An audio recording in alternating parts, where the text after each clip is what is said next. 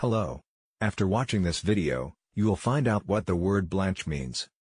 To cook by dipping briefly into boiling water, then directly into cold water. To grow or become white. Cook briefly, as of vegetables, parboil the beans before freezing them. Turn pale, as if in fear. Cook briefly, parboil the beans before freezing them. Cook briefly.